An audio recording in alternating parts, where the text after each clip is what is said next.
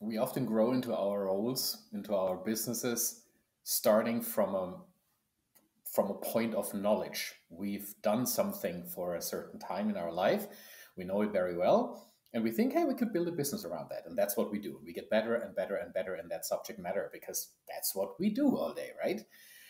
And then we all of a sudden realize, oh my gosh, there are also things I really have no idea about, but I should because they are important. One of these topics, for example, is how do I properly price my products and services?